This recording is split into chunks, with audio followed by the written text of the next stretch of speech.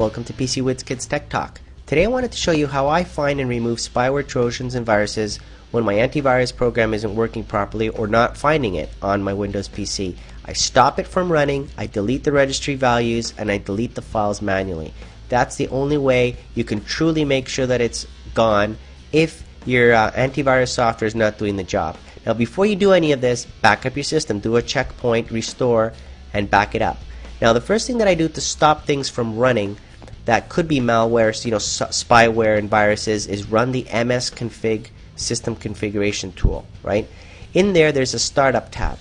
So when you click on the startup tab, you're going to see a whole bunch of items there that are starting up, right? They're all checked off. If you see something checked, you uncheck it. So that way you know that it's not going to start up the next time you restart your computer, right?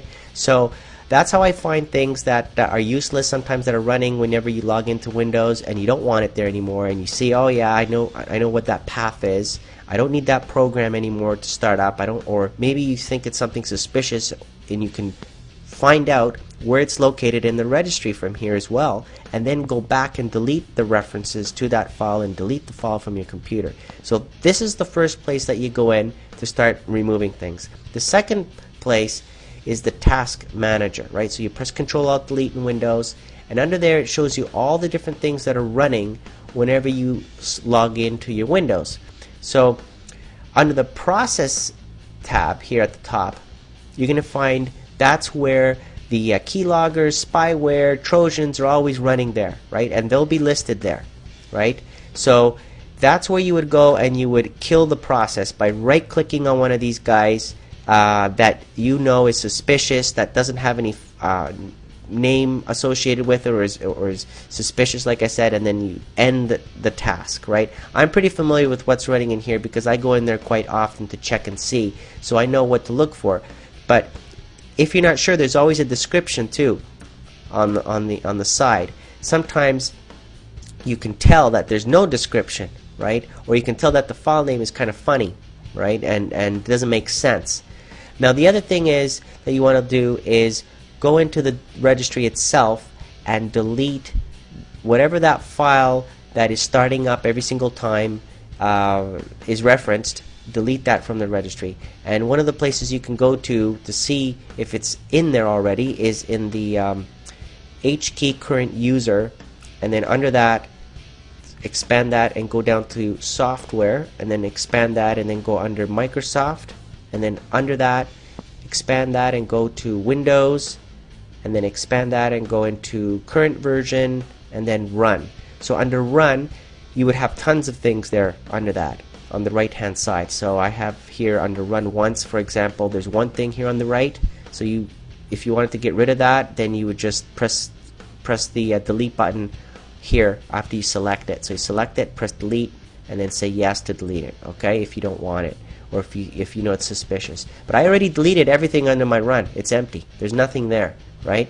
So um, I don't have anything there specified in the registry. You can always do a search and find uh, that exe or DLL or whatever it is that is referenced in the registry, and and after it finds it, then delete it, right? So that way it doesn't um, uh, look for it next time when you restart.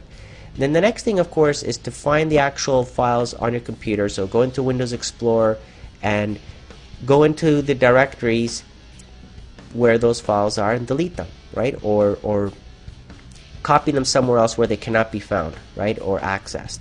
So one of the places that I usually go to uh, is the um, Windows System 32 folder. So let's just say you had a problem that started yesterday and it could be a Trojan, it could be something that you installed. And if you go into System 32 folder, sometimes you'll you'll you'll be able to sort everything by date and see okay which DLLs or exe files are running um, and have yesterday's date when I first installed that program or did this and it's coincidental that I have here this file now running at the exact same time when the problem happened so usually I go through a lot of problem determination to figure out what is related and what could be safely removed. So it's not easy necessarily to figure these things out. That's why we got antivirus programs and, and, and all these other tools to try to figure these things out for us, right? And, and look for these uh, associations and remove them for us. But what I'm showing you right now is basically doing what an antivirus program does, right? Manually going through all of these things and removing them, right, completely. But it does, sometimes it doesn't get everything. One place that I that I know uh, a lot of Trojans and, and uh, spyware hides is in the C colon backslash documents and settings administrator slash local settings slash temp. In that temp folder, here's the temp folder. Uh, everything in there you can blow it away, right? Just delete it all, right? It's it's it's just temporary files. But Trojans uh, and and uh, exe files, for example, will hide in there, right? And they'll be accessed whenever they need to, right? And um, there's another folder, Windows um, slash prefetch. Things hide in there as well, right? So you, so there's lots of different places to go and look for to, to, to uh, delete these files basically.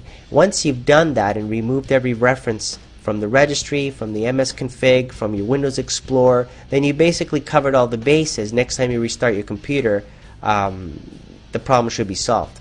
So anyways, those are some suggestions on how you would do it manually if you had to. Right? So I hope you enjoyed this video and thank you for watching.